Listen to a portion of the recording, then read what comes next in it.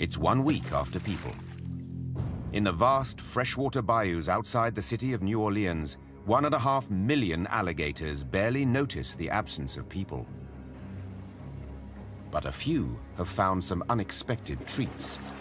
Escaped pets looking for a cool drink. Alligators have the strongest bite of any animal. In the time of humans, alligators infested America's southern cities, including Houston and Miami, injuring hundreds of people and killing more than a dozen.